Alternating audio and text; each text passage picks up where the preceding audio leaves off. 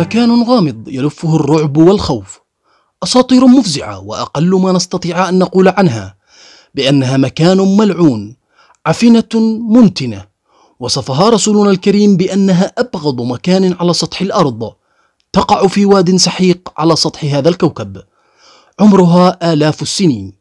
والأكثر من ذلك أنها وجدت قبل التاريخ ولا أحد يعلم كيف تكونت. ويقال أنها حفرت لتكون سجنا ابديا للجن.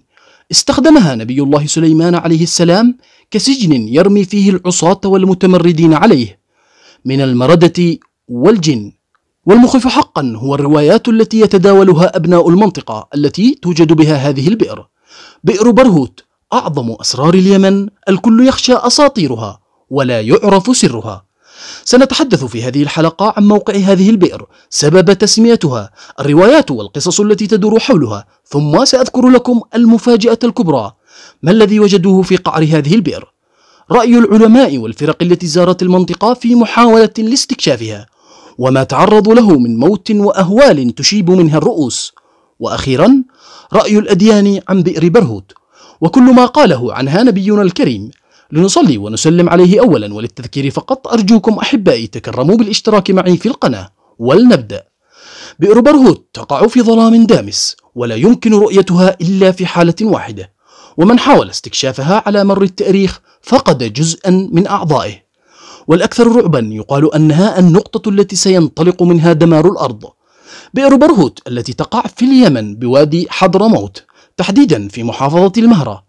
يصل اتساع فوهة البئر إلى 100 متر مربع في حين قدر عمقها بأكثر من 250 مترا. الأمر غير مؤكد بشكل نهائي إذ لا يمكن رؤية قعر البئر أو ما بداخلها إلا في حالة واحدة فقط أن تتعامد أشعة الشمس بشكل كلي مع فوهة البئر في ساعة الظهيرة. أثارت هذه البئر جدلا كبيرا ومستمرا إلى يومنا هذا لا سيما وأن أول ما يقال عنها عند الإتيان على ذكرها هو أنه لا قعر لها وهي مسكن للجن وأنه منها سيخرج المعذبون يوم القيامة وأن أرواحهم المحبوسة فيها هي من سببت نتن ماؤها ورائحته الكريهة. ويقال أن الفجوة تسكنها الأفاعي الضخمة والحمام الأبيض. وبحسب سكان المنطقة أيضا فإن قاع البئر التي تقع في منطقة قاحلة تحيط بها الخضرة من كل جانب ويمكن سماع هدير مائها المتدفق بوضوح تام. الأمر الذي أكده السكان مرارا وتكرارا. أما عن تسميتها بهذا الاسم يتعلق الأمر بشكل وثيق بالقصتين الشهيرتين اللتين يتداولهما أهالي المنطقة حول البئر.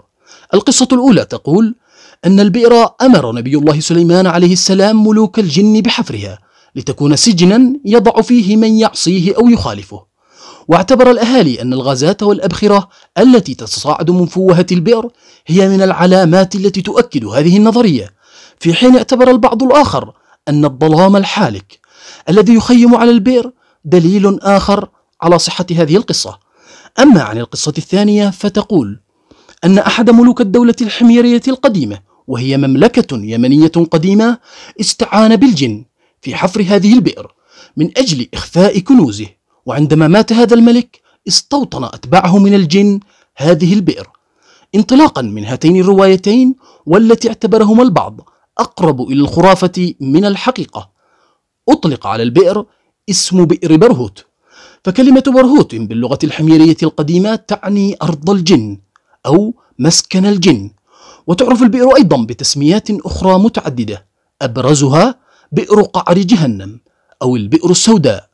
هناك نقطة مثيرة للاهتمام وهي أن هناك أقاويل مفادها بأن هذه الحفرة ليست بحديثة العهد وإنما وجدت قبل التاريخ ولكن لا وجود لأي وثائق علمية أو تاريخية تتناول هذه النقطة. تدور العديد من الأساطير والقصص التي يتداولها السكان ويؤمن بها الكثير حول بئر برهوت. ولكن رواية واحدة سأذكرها لكم في تفاصيل الحلقة هي الأكثر رعبا وبعد سماعها لا يمكن لنا نسيانها بسهولة. القصة الأولى يقال أن امرأة كانت ترعى الأغنام في منطقة البئر وأنها وضعت ابنها الرضيع في مهده على مقربة من البئر فاختفى فجأة ولم يعرف له أي أثر على الإطلاق. رواية ثانية مثيرة للاهتمام عن هذه البئر هي أن ماء البئر حلوة بطعم السكر لكنها ذو رائحة كريهة وغير صالحة للزراعة وأنه كثيرا ما تسمع أصوات أنين صادرة من البئر إلى جانب انبعاث روائح كريهة وأبخرة سامة متصاعدة. أما القصة الثالثة والأكثر رعبا ودموية ركزوا معي جيدا. تقول القصة أن السكان القدامى تعرضت منطقتهم للجفاف الشديد فقصدوا البئر لاستخراج المياه منها فحدث ما أصابهم بالصدمة. بعدما أنزلوا أحدهم مربوطا بحبل لرؤية المياه وجلب القليل منها كي يعرفوا أنها صالحة للشرب أم لا. فجأة بدأ بالصراخ وبترداد كلمة واحدة لا غير أخرجوني أخرجوني. وعندما أخرجوه كانت الصدمة لم يجدوا سوى الرأس. في حين يقول البعض الآخر لم يجدوا سوى نصفه العلوي. رواية تشبه أفلام الرعب. وهل حدثت بالفعل؟ الله وحده يعلم. أما عن النصوص الدينية والتي تشير بوضوح إلى أن منطقة البئر هي الأبغض على سطح الأرض فما هي أبرز هذه النصوص؟ البداية مع الحديث النبوي الشريف عن رسولنا الأكرم عليه الصلاة والسلام حيث قال خير ماء على وجه الأرض ماء زمزم فيه طعام الطعم وشفاء السقم وشر ماء على وجه الأرض ماء بوادي برهوت بقبة بحضر موت كرجل الجراد تصبح تتدفق وتمسي لا بلال فيها. وأحاديث أخرى قيلت في بئر برهوت أن فيها أرواح الكفار والمنافقين وأنها بئر قديمة عميقة في ثلاث واد مظلم. وأشارت أيضا أن أبغض البقاع إلى الله تعالى وادي برهوت بحضرموت. فيه بئر ماؤها أسود منتن تأوي إليه أرواح الكفار.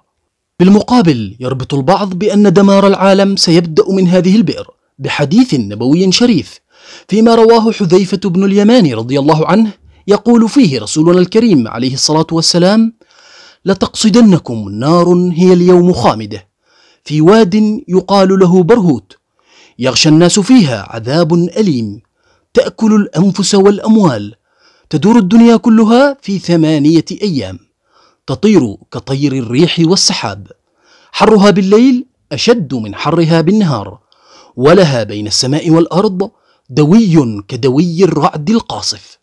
هي من رؤوس الخلائق بالنهار أدنى من العرش.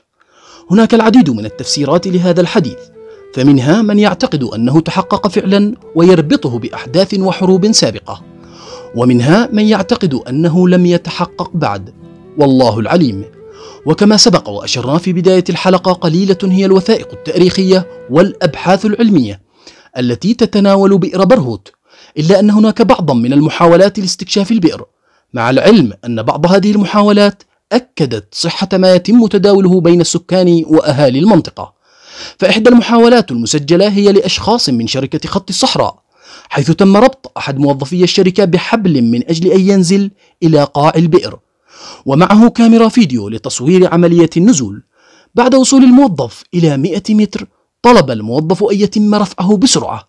وعندما سئل عن السبب قال أنه رأى البئر وكأنها تضيق وستغلق عليه.